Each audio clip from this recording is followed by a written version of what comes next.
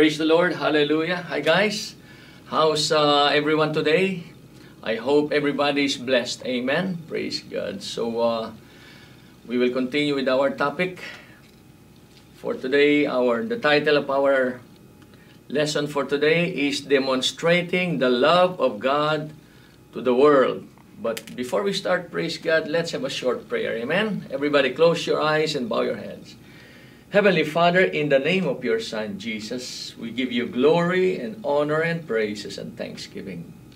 Father, we commit this Bible study, O God, actually this preaching, this message, O God, into your hands. Let your mighty anointing be upon all of us, upon all the viewers, O God, upon all those who are listening.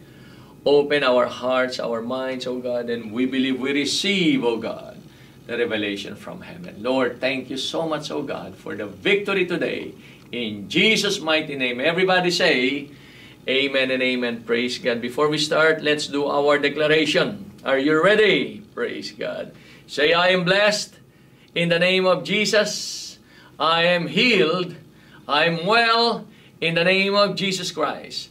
I am strong in Jesus' name. Because the Lord, He is my strength and my song. He has become my salvation. I am glorious in the name of Jesus. I am highly favored in Jesus' name.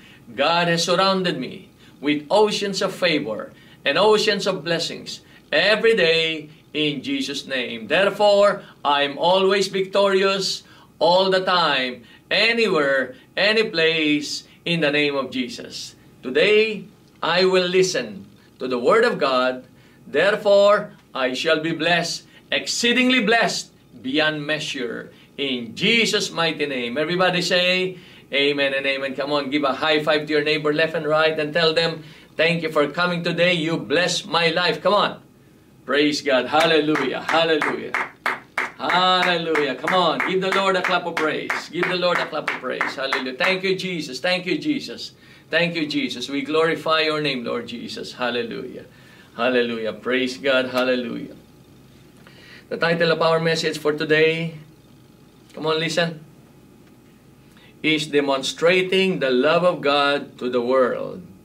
Demonstrating the love of God to the world. And let's open our Bibles in the book of Luke chapter 4. We'll start reading from verse 14 up to 19. Praise God. Come on. Verse 14 up to verse 19. Okay, ready? Listen. Jesus returned to Galilee in the power of the Holy Spirit, and the news about him spread through the whole countryside. He taught in their synagogues, and everyone praised him. And then he went to Nazareth, where he had been brought up. And on the Sabbath day, he went into the synagogue as it was his custom. And he stood up to read the scroll of the prophet Isaiah was handed to him. Unrolling it, he found a place where it is written, verse 18, The Spirit of the Lord is on me because He has anointed me to preach the good news to the poor. He has sent me to proclaim freedom for the prisoners and recovery of sight for the blind, to release the oppressed, and to proclaim the year of the Lord's favor. Praise God. Purihin po ang Panginoon sa pagkabasa ng kanyang salita. No? Praise God. So, Jesus was sent by God the Father to do those things which we have just read. Praise God. Ulitin po natin, He was sent to proclaim the good news to the poor. Po, the good news to the poor. What is good news to the poor? Abundance, prosperity, wellness, happiness, joy, and peace. Why? Because the poor people, especially today, there are so many poor people around the globe. There are only uh, 20% of the people's population who are rich and well off. But 80% are average and below average. They are all very poor. They are all sick. They are all lonely. They are all sad. They don't have money to pay their bills. Ano po, napakarami pong dapat bayaran ngayon. And these people are always stressed out financially, in their minds and in their hearts. They are always full of stress and worry and fear. Ano po? And Jesus says, He came to give the good news to the poor. Praise God. What is good news to the poor? Abundance, wellness, prosperity. Sa ating mga kamag-anak, to all our relatives, our neighbors, our friends, ano po, our brothers and sisters. We need to share the Word of God. We need to share the Word from heaven and tell them that there is hope in God and that God wants to bless them if they will only come back to God if they will only reconcile with God, if they will only ask for their for forgiveness of their sins and be reconciled with God, God is always willing and is forever willing to help all of them and all of us. And nakita naman po natin na it happened in our lives. Ano po, when we, you know, when we were not yet Christians, we were so poor, we don't have any hope. Ano po, we are always homesick, we're always depressed. We're always stressing our mind, where do I get the money to pay the tuition fee? Where do I get the money to pay the house and to pay the bills and electric bills and all those so many, many bills na binabayaran natin yan. But praise God, now that we have Jesus, we have God the Father, we have the Holy Spirit, and we have the angels of God helping us, assisting us, giving us joy in our hearts, even though we are in the midst of trials, in the midst of challenges, in the midst of sometimes persecution. Because of being a Christian, we are also being persecuted. But praise God, Jesus says, I came to give you life and that you might have it more abundantly. Complete. Amen? Nothing lacking, nothing broken. Complete. Praise God. Ito po ang gusto ng Panginoon. This is what the Lord wants for all of us to be and to have and to possess and to enjoy every day. Po? So let's read it again. The Spirit of the Lord is on me because He has anointed me to preach the good news to the poor. Now, take note of the word anointed. Jesus was anointed by the Holy Spirit. He was baptized in the Jordan River, ano po, in the Jordan River, uh, through water baptism ni John the Baptist, and then the Holy Spirit came down from heaven like a dove, came down from heaven, and it anointed Jesus. It possessed Jesus. The Holy Spirit possessed Jesus. Ano po? The Holy Spirit possessed Jesus. Now Jesus anointed, meaning Jesus has now the power the power of the Holy Spirit, the energy of the Holy Spirit, and the gifts of the Holy Spirit to start preaching the good news to the whole world. Now, Jesus is not here anymore. He has turned over the responsibility to all of us. We have been anointed by the Holy Spirit. We have been anointed by the Father. When we receive Christ as our Lord and Savior, we receive the Holy Spirit, and the Holy Spirit is now indwelling in our hearts. And then we receive the baptism of the Holy Spirit. Now, the Holy Spirit is covering us. Praise God. We now have the power. We now have the power, praise God. Tell your neighbor, we now have the power, left and right. Ready, go.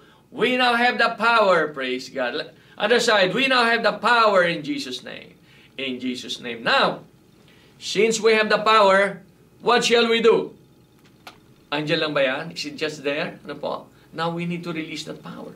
We need to use that power. We need to share that power, that anointing, that love of God, the energy of God, the anointing of God to other people by sharing them the good news, by sharing them the love of God, by sharing them the Word of God, by sharing them the plan of God in their lives. Ano sabi po sa Jeremiah 29.11? Come on, uh, recite it. Everybody, go. For I know the plans I have for you. The plan to prosper you and not to harm you. Plan to give you hope and a good future.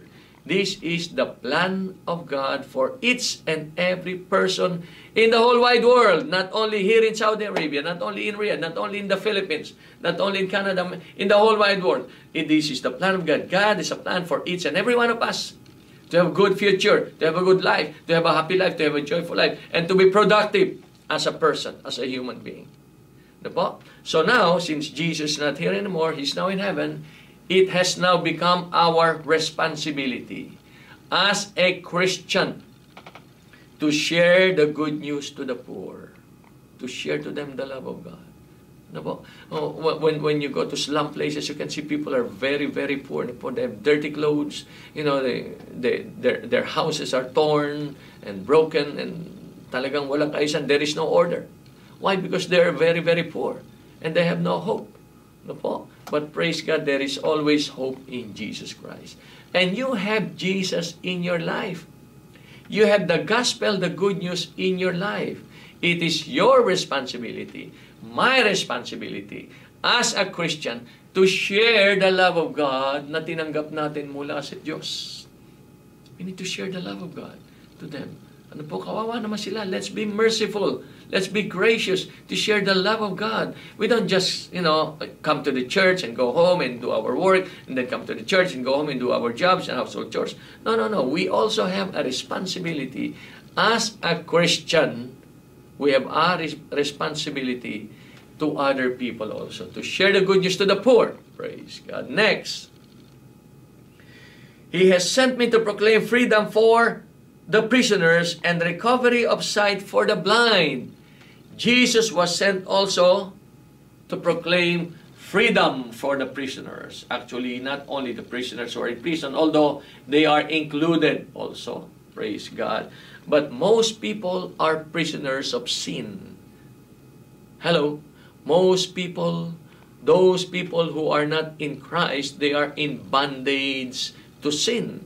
They cannot get out and nobody can deliver them except the Christians, except the power of the Holy Spirit, except the power of the Word of God. Those prisoners can be set free again to glorify God, to fulfill the original plan of God in their lives.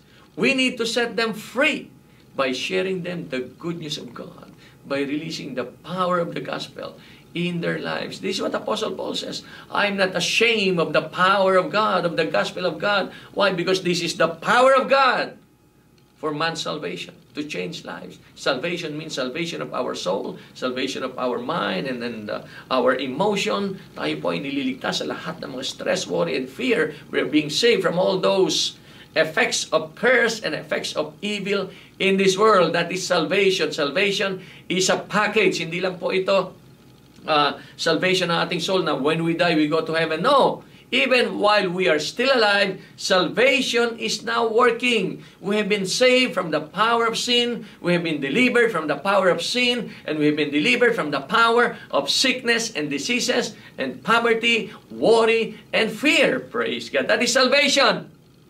It's a package. The po, laging sama-sama po yan. Marami po yan. Anything you need, it's in the package of salvation. Anything we need is in the package of salvation. Kaya it is really very important for each and every one of us, Christians, if you call yourself, if you consider yourself as a Christian, then you have the responsibility. You have also the accountability to God to share the Word of God, to share the goodness of God to many, many different people around us. Why? People are prisoners people are prisoners of vices. They cannot get out of drugs. They cannot get out of alcohol. They cannot get out of nicotine, of cigarettes. They cannot get out of gambling. They cannot get out of all those bad habits they have. But praise God, the power of God can deliver all of them from all these vices. From all these vices. Po, lahat mga drunkards, madideliver po yan sa salita ng Diyos, sa pamagitan ng salita ng Diyos the drunkards and those who are in drugs, they can be delivered. Nothing is impossible to God. Why? Because the power of God has no limit. It can defeat any vice or any evil work in the life of every person. It will totally change the power of God. The Word of God will totally change the life of a person. Praise God. Kaya we have that power. We have that anointing, we have that energy, we have that gospel, we have that good news to liberate the prisoners from all those things that are binding them. They're, they are bound. These people are bound, for they could not move. They're bound by sin. They're bound by all those vices. They're bound, really. And they have no freedom. They cannot praise the Lord and glorify God because they're bound by the devil. And it is our duty and our responsibility as a Christian to set them free. Praise God. Come on, give the Lord a clap of praise. Hallelujah. Praise the Lord. Thank you, Jesus. Hallelujah. Now, next. He has sent me to, uh, to proclaim freedom for the prisoners and recovery of sight for the blind.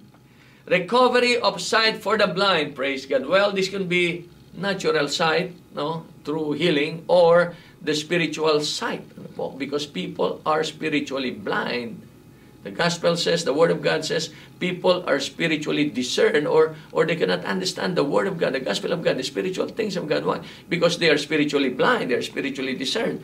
Now, when we preach the good news, when we preach good news, ano po, when we preach the goodness of God, the love of God, the love of Jesus, the plan of God in their lives, and they receive Christ as their Lord and Savior, these blinders will be removed and they will see now and they will understand the plan of God. They will understand the goodness of God. They will understand the love of God. They will understand the sacrifice of Jesus done on the cross. They can now understand the spiritual things, the spiritual area, the spiritual dimension. Now, their eyes, their spiritual eyes are open. Praise God. Hallelujah. Like what happened to all of us. Now, we can understand the Bible. Amen? It's very clear now. And napakasarap pakinggan. The Word of God is sweeter than honey. The Bible says, the Word of God is sweeter than honey. Praise God. Ang sarap pakinggan ng Word of God. It's so good to listen to the Word of God. It's so good to read the Word of God. It's so good to hear the Word of God being taught, being preached. Why? Because our spiritual blinders has been removed. Our spirit, our spiritual mind has been opened to be receptive to receive the Word of God to receive the wisdom of God, to receive the knowledge of God. Praise God. Amen po? And this is part of our duty as a Christian. Now, tell your neighbor, this is part of our duty as a Christian. Left and right, go.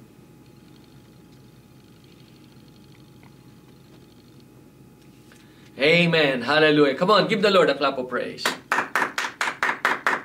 Hallelujah. Praise God. Now, another thing. Okay, praise God. Hallelujah. To release the oppressed.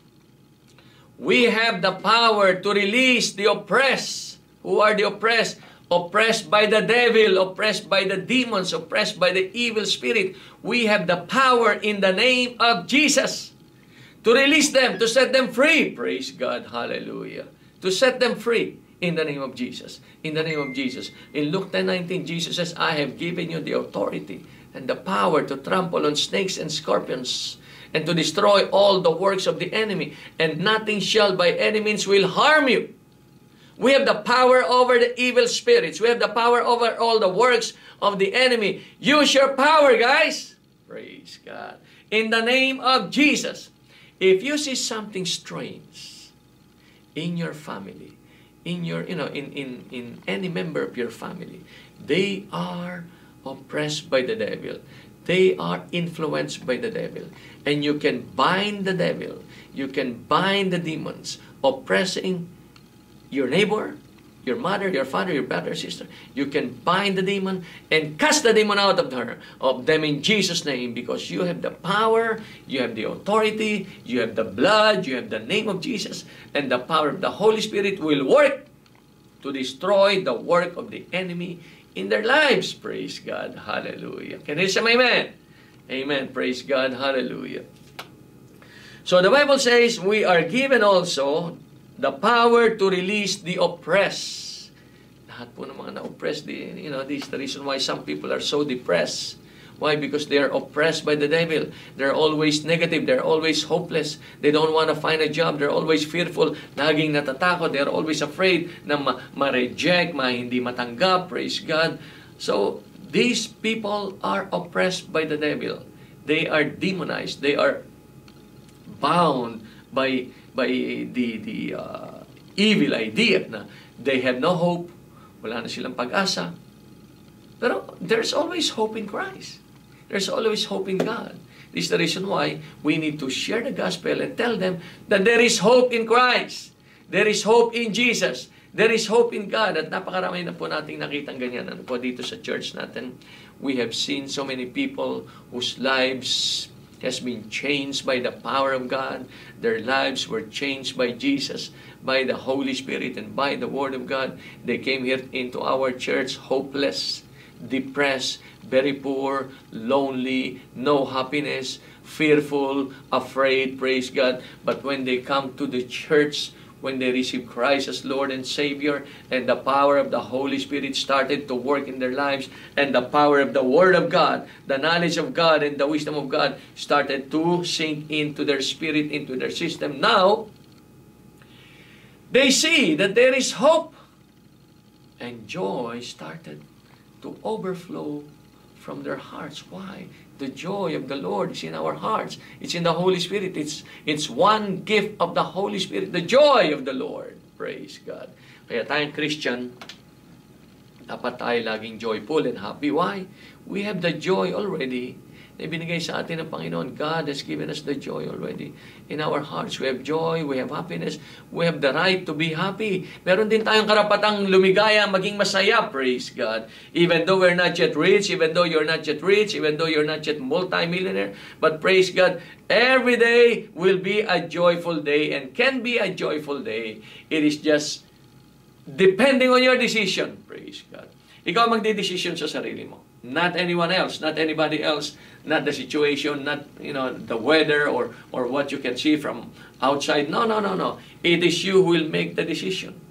Pag nakita natin na naku, may sunstorm ngayon, naku, mukhang babagyo, parang ang ang uh, ang uh, nafi-feel natin, nadi-depress na tayo. Pamali po 'yan. Sa umaga pa lang, praise God, let's declare, this is the day that the Lord has made, and I will rejoice and be glad in it. Whatever is the weather, you know, whatever is the situation, whatever is, is the circumstance in your workplace, in your family, but rejoice, praise God. Always rejoice. There is power in rejoicing. There is power in rejoicing. There is power in rejoicing in the name of Jesus. In the name of Jesus. Don't let the situation, the circumstance, or other people dictate how you will feel every day. This is a personal decision. Tell your neighbor, this is a personal decision. You need to be happy and joyful every day. Come on, ready, go.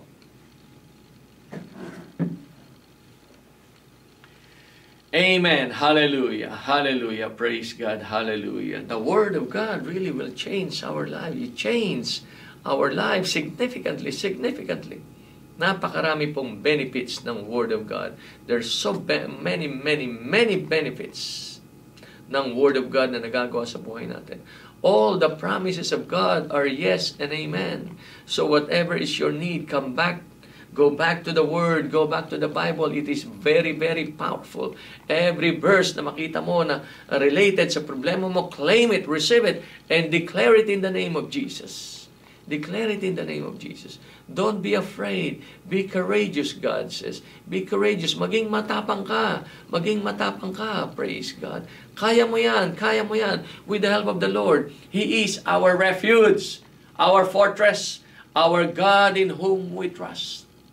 If God is for us, who can be against us? Anyway, praise God. Kaya po nating labanan ang lahat ng uri ng problema sa ating buhay by releasing the sword of the Spirit. The sword of the Spirit. The Word of God, praise God, is the sword of the Spirit. Praise God. Hallelujah. We need to release the power of the Word of God through our mouth. But before you can release it, you need to put it into your heart. You need to put it into your heart through reading and reading and listening and reading. Reading and reading and reading and listening, listening, listening and fill your heart with the Word of God. And when you are full of the Word of God, praise God, this world is under curse. But your own world can be a blessed world using the Word of God. Amen? Malino po ba yun? The whole earth is under curse. It's under curse of sin. Anywhere you go, it's under curse. There's always sickness, diseases uh, poverty, worry, and fear. Anywhere you go, go to India, go to some part of the Philippines, praise God. Go to many different places. There all there are always poor people around the globe. They are under curse. They are sick. They are lonely. They, they are alone, wala po silang kasama, wala silang kamag-anak, walang kaibigan. You can find those kind of people anywhere, everywhere. But you yourself can live in a blessed world, ang paligid mo can be blessed. When you use the Word of God, when you claim the promises of God, when you release the Word of God, when you declare the Word of God, I am blessed in the name of Jesus.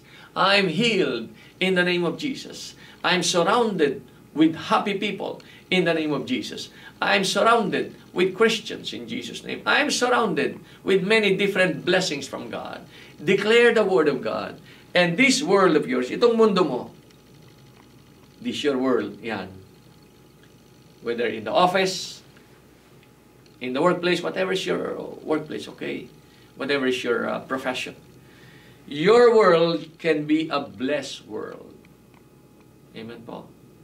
You can be eating a very simple meal, but very happy because you thank the Lord before you eat. But another person can be eating a very lavish meal, very lavish meal, fried chicken and all those kind of stuff. But still not satisfied and lonely. Why? They're under curse. They're not blessed. They keep on complaining, complaining, complaining. Bakit matigas tong karne? Bakit matigas tong manok? Bakit nasunog? Bakit hilaw? Bakit? Dami, dami, daming complaint. There's so many complaint, praise God. While us, praise God, hallelujah. Nasunog, crunchy, praise the Lord pa rin. Amen, hallelujah. Hilaw, praise God, hallelujah. Half cooked, praise God, hallelujah. Pwede natin lutuin uli yan. And be happy, praise God, hallelujah. We should have a happy heart every day. A happy heart is a good medicine. It's a good medicine. It will bring health and healing to your physical bodies, to your health. The Bible said that. said that in the book of Proverbs. Ano po? A happy heart is a good medicine. So it's good to be happy every day. Let's declare our victory every day. Declare our happiness every day. Declare your blessings every day. Declare the grace of God in your life every day. Declare your miracles every day. Praise God. When you wake up in the morning, Lord God in heaven, thank you so much.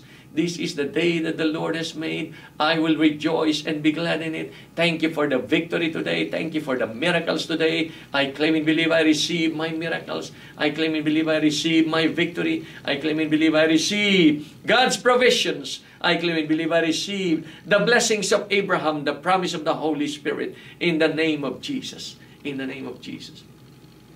Use your faith. Use the Word of God and the Holy Spirit and the angels of God will work and will fix your situation, your circumstance, according to what you said, according to what you said, according to what you declare. The Holy Spirit will fix everything and will make your surrounding, your world, to be joyful and victorious and happy. Stress-free, praise God. Hallelujah. Kaya napaka-importante po ng Word of God, brothers and sisters. The Word of God is the final authority in our lives. It should be the final authority in our lives. Dapat lagi po tayong puno ng Word of God. Let's fill our hearts with the Word of God. Love the Word of God. Love the Bible. Read the Word of God and listen to the Word of God you will see the blessings of the Lord in your life. You will see the promise in the Old Testament. In Joshua 1.8, meditate on my word day and night so that you will be able to do it, to obey it, to perform it. And then you will be prosperous and successful, God says. You'll be prosperous and successful. So, ang Word of God pala ay nagdadala ng prosperity at ng success, at ng happiness, ng healing, ng joy, ng lahat ng kabutihan sa buhay ng tao. Ang Word of God, ito, ito po, napakarami pong dinadala ito sa buhay ng tao. Napakarami.